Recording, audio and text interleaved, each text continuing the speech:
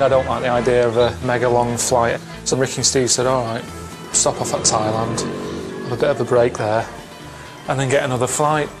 So I'm, I'm not moaning about it. Thailand. Meant to be nice, isn't it?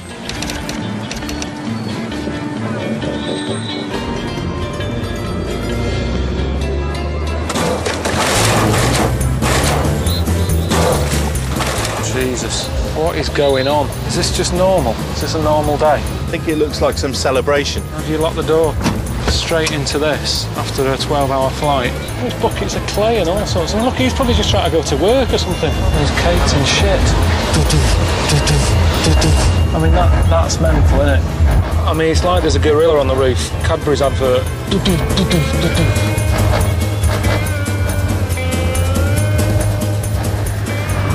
Closed off. The rope is closed off, Chris.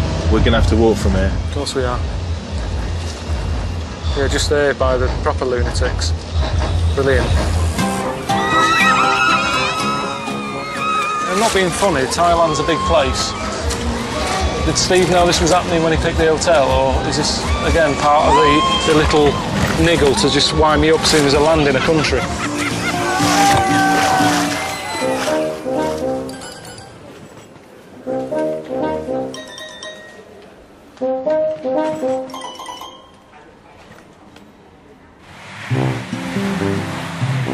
First, new message. Received today. All right.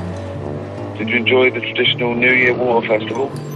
That's right up your street, isn't it? Um, listen, while you're in Thailand, I think it would be a sin for you not to experience one of the wonders of Bangkok, a meeting with some lady boys. All right. See you later. My mum and dad's going to watch this. If it's anything seedy, I'm not doing it.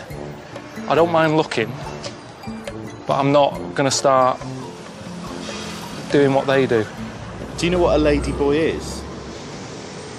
Well, it's kind of like a like the, like a tranny person, isn't it? It's like a a bloke who prefers to be more like a woman.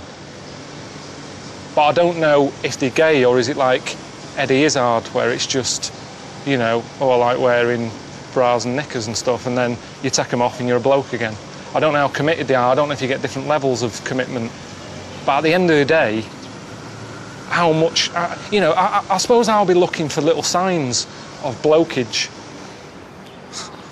Is that, is that him? That's mental. That is proper mental, isn't it? What's her name? Vivian. Vivian's a possible man's name as well, isn't it? It's a good name, that. And it's almost like she's not trying to con anyone. Because it's like, well, my name's Vivian. You should have known. It's good.